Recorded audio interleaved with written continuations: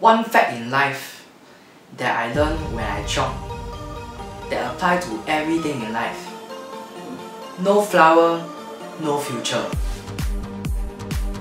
Now that COVID-19 has shut down all the other places for me to chiong, the question is, where do people like me and you can go to chiong and throw flower for our favorite kind of people in the world? Pretty girls. Wow! You see, very chill sia. Must keep tapping, send hearts, you know, then that way they know that they you like them. Wow, you see, got super dragons sia, can see or can see or.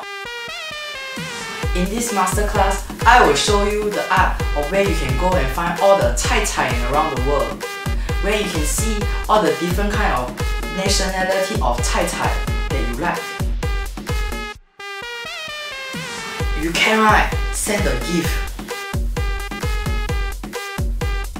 My name is Teo GT and this is your masterclass on how to be a chiongster during COVID-19.